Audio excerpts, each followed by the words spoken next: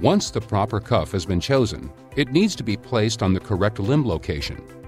For awake cats and dogs, this is usually the front forelimb above the paw or at the base of the tail. The hind limb is often avoided on awake animals due to the animal's lack of compliance in that location. They want to shake it off. Proper cuff placement is vital to achieving accurate BP data.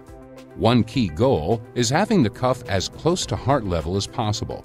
The best place to put the cuff on awake companion animals is the front forelimb, while the cat or dog is lying on its side, although other positions will also work. The patient can either be lying on the table, the floor, or in the arms of the medical professional or owner. If the patient is seated, the front forelimb is still the preferred cuff location, but the limb should be supported during the BP measurement to keep the forelimb muscles relaxed and to get the cuff to heart level. If the patient is standing or not cooperative, the cuff can be placed on the tail.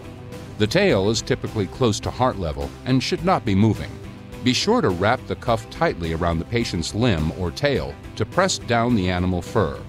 The cuff is the sensor, so a snug fit is needed.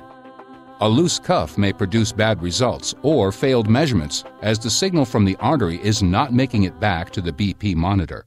At SunTech Medical, we don't miss a beat, so make sure you don't either. Subscribe to our blog and our YouTube channel today.